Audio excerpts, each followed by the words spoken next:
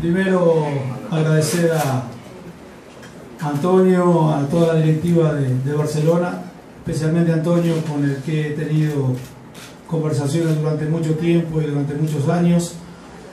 que ha sabido entender en algunos momentos eh, las prioridades que uno tiene en la vida, eh, son más importantes y, y con la gracia de Dios la tengo acá presente conmigo. Así que me ha entendido perfectamente, yo le he cumplido con la palabra que le he dado, que le había dicho que, que en algún momento, y no iba a ser muy lejano, este, yo iba a estar acá, porque también era un anhelo importante para mí poder dirigir a, a un equipo tan importante como Barcelona, que está por sobre todos nosotros, ¿no? sobre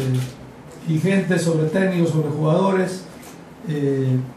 equipo que tiene mucha, mucha trascendencia a nivel mundial y que es un paso importante en la carrera de uno poder estar acá, hoy al frente de este equipo. Eh, primero eso, segundo que bueno, volver al fútbol ecuatoriano después de más de, de un año y medio casi de ausencia,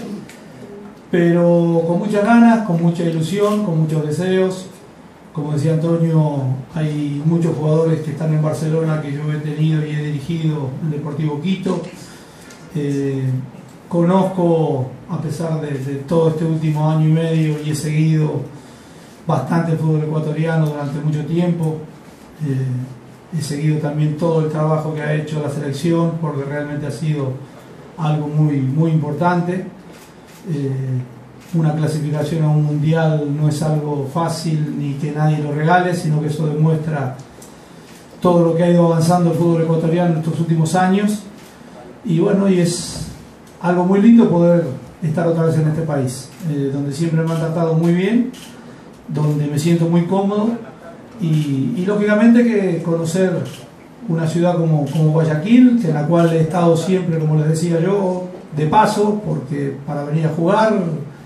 eh, llegar al aeropuerto, ir a un hotel, ir al estadio, volver a, al aeropuerto, irte, volver al hotel, siempre he sido de paso. Pero bueno, ahora voy a tener la, la, posibilidad de conocerla y ya lo poco que he visto